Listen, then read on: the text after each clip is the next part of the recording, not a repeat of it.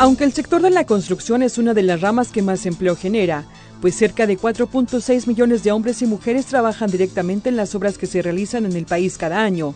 En la actualidad el panorama no es muy alentador, ya que aparte de que no hay dinero, se ha elevado el costo de los insumos, y por si fuera poco, el fenómeno de la sequía también trajo sus consecuencias para dicho sector, lo cual hace que el panorama sea uno de los peores en los últimos años.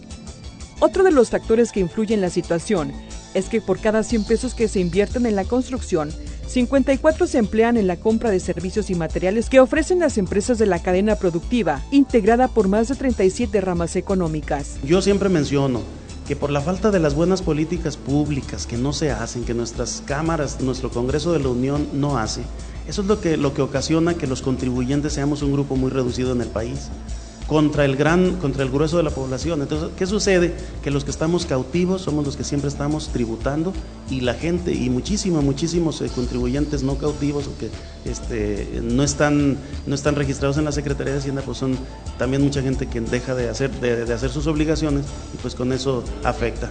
No hay un equilibrio. Entonces, eso es lo que deberíamos de, de preocuparnos nuestros diputados, en hacer este tipo de políticas que beneficien al empresario, que es el que genera la mayor parte del empleo, el movimiento de la economía, lo que nosotros generamos como industria. Para 2011, el gobierno federal planteó detonar la economía del país a través de la construcción de infraestructura. Sin embargo, las pequeñas y medianas empresas de la construcción enfrentan problemas de solidez financiera, por lo que no son sujetos de crédito. A pesar del crecimiento en la participación del financiamiento del crédito bancario por parte del sector de la construcción, aproximadamente del 97.5% de las constructoras son empresas medianas y pequeñas, a las cuales se les dificulta el acceso al financiamiento. Y por si no bastara, la cacería de brujas que realizan el Instituto Mexicano del Seguro Social y la Secretaría de Hacienda con auditorías dificultan el panorama. En Durango, el 30% de las constructoras afiliadas a la Cámara están sin trabajo y en su mayoría son pequeñas empresas. Nosotros en estos momentos estamos trabajando a nuestros, de nuestra plantilla de contratistas de la Cámara, que somos alrededor de 300, no estamos trabajando más del 30%, 30-35%. Entonces, esto si usted lo ve, pues es un tema grave, es un tema delicado, es un tema preocupante que nosotros sí ya, ya estamos en un, en un punto eh, de, preocupación importante.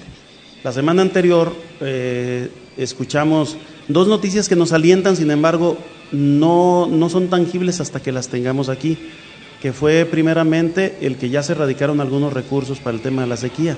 Sin embargo, eh, pues todavía no los, si fue la semana pasada, aún no se inicia con el ejercicio de los mismos.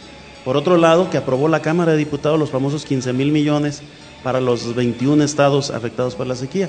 De ahí no sé, no, no, no estoy enterado cuánto le va a tocar a Durango y cuándo.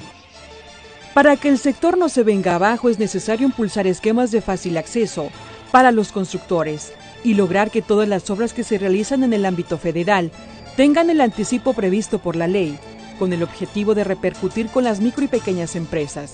Y así, días como el de la Santa Cruz sean realmente un motivo para celebrar y no solo para el recuento de las estadísticas de lo que aún falta por hacer. Para Análisis Político, Cristal Benavente.